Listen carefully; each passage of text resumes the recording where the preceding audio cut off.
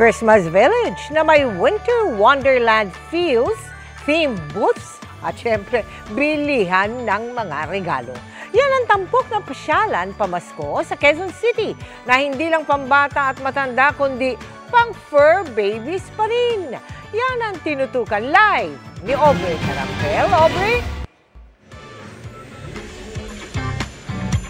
Mel, para sa mga naghahanap ng pasyalan ngayong Christmas season, binuksan na ngayong gabi ang Eastwood Christmas Village dito sa Quezon City.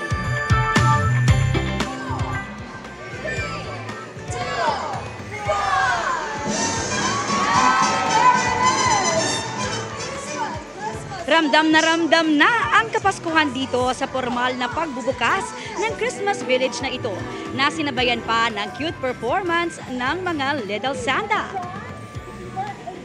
at Christmas elves.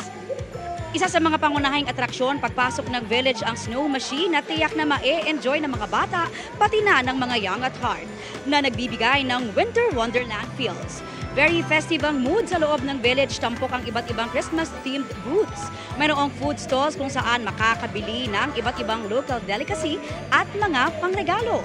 Di lang pang family ang atraksyon na ito, kung hindi, pet-friendly rin. Spotted nga ang ilang fur babies in their Christmas outfits.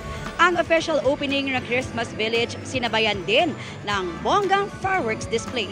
Starting this weekend and every Saturday ng buong buwan ng Disyembre ay magkakaroon ng spectacular fireworks display na kukumpleto sa inyong holiday experience. Mel, simula ngayong gabi ay bukas na itong Christmas Village na ito at everyday yan from 10 a.m. to 10 p.m. hanggang end of December. Balik sa'yo, Mel. Maraming salamat sa iyo, Aubrey Carampel.